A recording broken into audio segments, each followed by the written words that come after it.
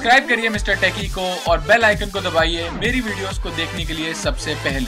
सत श्री अकाल दोस्तों, मेरा नाम है गुरप्रीत सिंह और आप देख रहे हो मिस्टर टेकी। तो दोस्तों, आज मैं लेके आया हूँ मोस्ट डिमांडिंग वीडियो, जो है Oppo F7 के बैटरी डिस्चार्जिंग टेस्ट की। दोस्तों, जब मैंने Oppo F7 का बैटरी चार्जिंग टेस्ट बनाया था तो बहुत लोगों ने मुझे कमेंट सेक्शन के अंदर ये बोला था कि आप इसका बैटरी डिस्चार्जिंग टेस्ट बनाइए।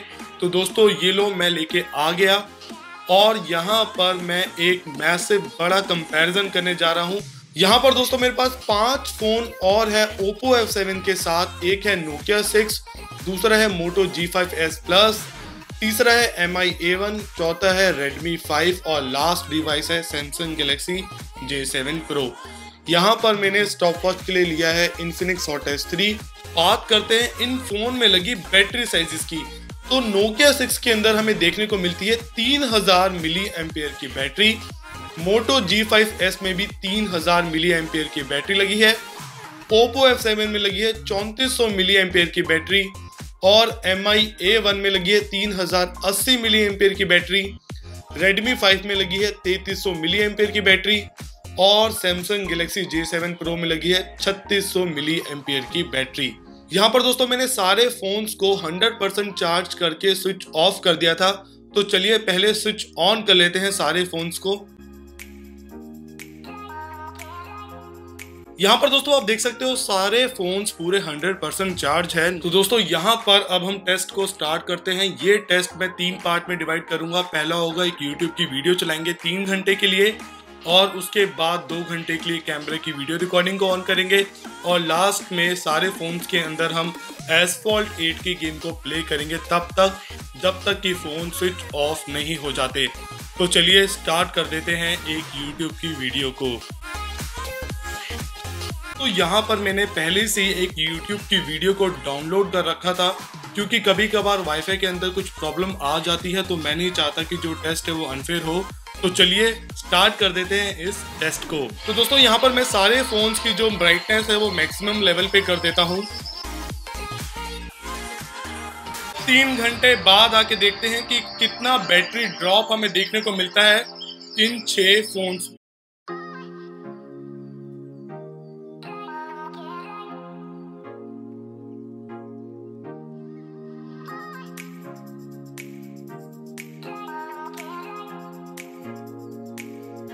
तो यहाँ पर तीन घंटे पूरे हो जाते हैं स्टॉप वॉच के अंदर।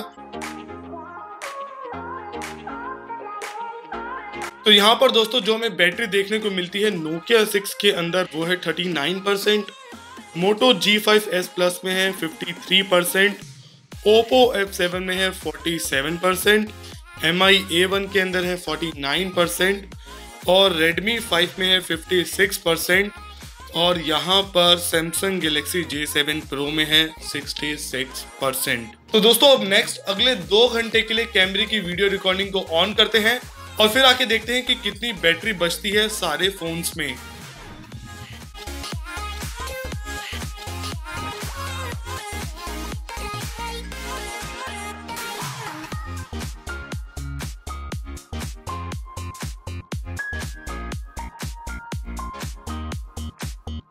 यहाँ पर दोस्तों चार घंटे बारह मिनट के अंदर नोकिया सिक्स स्विच ऑफ़ हो जाता है।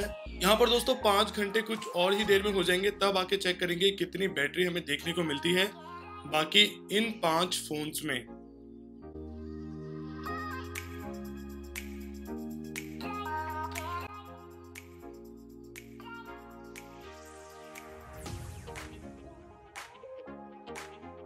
पर दोस्तों पाँच घंटे पूरे हो जाते हैं स्टॉप वॉच के अंदर। चलिए पहले कैमरा की वीडियो रिकॉर्डिंग को बंद कर देते हैं और स्टॉप वॉच को भी अभी दो मिनट के लिए रोक लेते हैं। अब चेक कर लेते हैं कि पाँचों फोन्स के अंदर कितनी बैटरी बची हुई है। यहाँ पर दोस्तों दो घंटे की कैमरा वीडियो रिकॉर्डिंग के बाद जो हमें बैटरी देखने को मिलती है Moto G five S plus में, वो है तीन परसेंट ओप्पो एफ़ सेवन में रह गई है आठ percent M I A one के अंदर रह जाती है नौ परसेंट और Redmi 5 में है अभी सोलह परसेंट और Samsung Galaxy J7 Pro में है 31 परसेंट बैटरी। तो Nokia 6 जो है वो चार घंटे 12 मिनट के अंदर स्विच ऑफ़ हो गया था। हमारे बोलते बोलते देख लो दोस्तों, यहाँ पे दो परसेंट बैटरी रह गई है Moto G five S plus में। हो सकता है कि अगला टेस्ट स्टार्ट करते ही ये फ़ोन भी स्विच ऑफ़ हो जाए। तो चलिए दोस्तों, अब नेक्स्ट यहाँ पर एसफॉल्ट 8 की गेम को प्ले करते हैं तब तक, जब तक कि फ़ोन स्विच ऑफ़ नहीं हो जाते। तो चलिए दोस्तों, अब गेम को स्टार्ट कर देते हैं और देख लेते हैं कौन सा फ़ोन सबसे पहले स्विच ऑफ़ हो जाता है।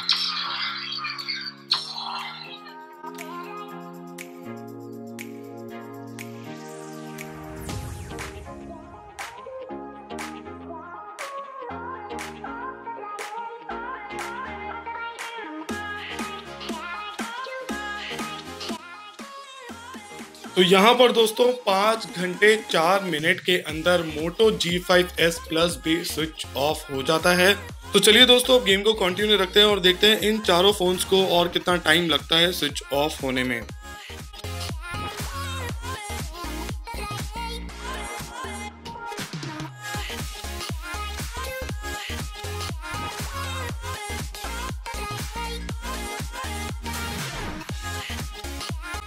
यहाँ पर दोस्तों पाँच घंटे सोलह मिनट के अंदर Oppo F7 जो है वो पूरा स्विच ऑफ़ हो जाता है। अब हमारे पास जो डिवाइस रह गए हैं वो है तीन डिवाइस, एक है एम आई ए वन। लो बोलते बोलते ही एम आई ए वन भी स्विच ऑफ़ हो गया, ये भी पाँच घंटे सोलह मिनट के अंदर ही स्विच ऑफ़ होता है। तो दोस्तों अब टेस्ट को कंटिन्यू रखते हैं और देखते हैं कि Redmi 5 को कितना टाइम लगता है स्विच ऑफ़ होने में।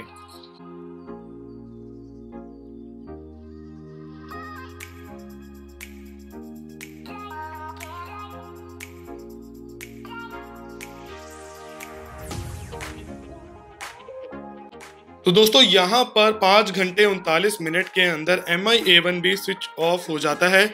अब हमारे पास सिर्फ़ एक लास्ट डिवाइस रह गया है, वो है सैमसंग गैलेक्सी J7 Pro तो दोस्तों, आप देख सकते हो 19 परसेंट अभी बैटरी बची हुई है सैमसंग गैलेक्सी J7 Pro में। इसको तो कम से कम अभी आधा पौना घंटा और लगेगा स्विच ऑफ़ होने में। तो चलिए, अब टेस्ट को कंटिन्यू रखते हैं और वेट करते हैं कि ये कब स्विच ऑफ़ होता है।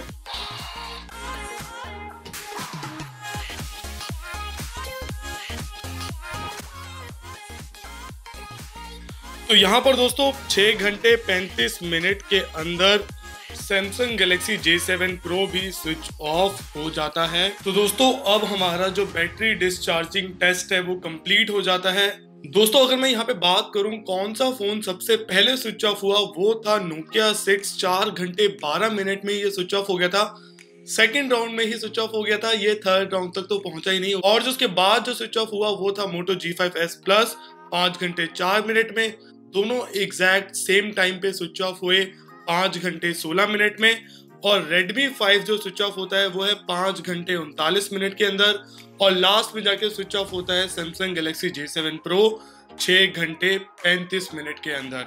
तो दोस्तों, ये थी battery discharging test video of Oppo F7 और एक कंपैरिजन बाकी फोन्स के साथ। बताया दोस्तों वीडियो कैसा लगा? सबसे पहले तो प्लीज़ यार, अगर आपको वीडियो पसंद आती है ना प्लीज़ लाइक ज़रूर करो। मैं इस बारे भी एम नहीं रख रहा। अगर आपको ऐसा लगता है कि इस वीडियो को लाइक मिलना चाहिए तो प्लीज़ यार ज़रूर आप लाइक करना। और जो आप नए लोग इस वीडियो को पहली बार देख रहे हो प्लीज़ यार बिना सब्सक्राइब किए तो जाना मत। मैं अप्रोक्स आज तीन बजे बैठा हुआ था इस वीडियो को बनाने में। अब अराउंड दस बजने वाले हैं वीडियो बनाते बनाते तो प्लीज़ यार बहुत ज़्यादा मेहनत लगती है ये वीडियोस को बनाने में।